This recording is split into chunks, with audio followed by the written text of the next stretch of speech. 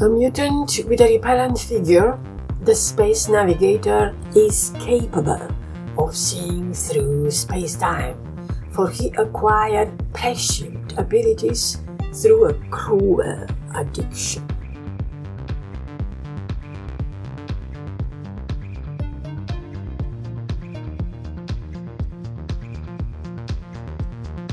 Coming from human stock, the navigator is continuously immersed in highly concentrated orange spice gas and fed with massive amounts of the spice melange extracted from a place of savage sandstorms.